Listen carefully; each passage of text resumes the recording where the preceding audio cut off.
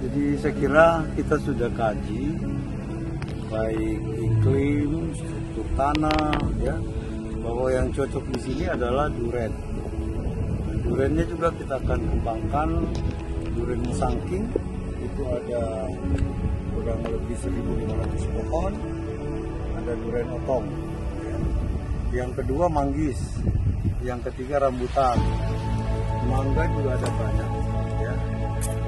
Ini semua akan kita kembangkan tentu dalam rangka mendorong percepatan kesejahteraan masyarakat di sekitar wilayah ini.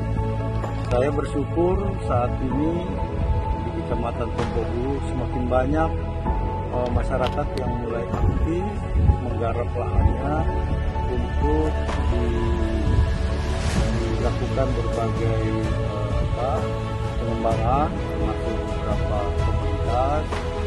Nah, dan insya Allah kami juga akan bantu memberikan bibit rambutan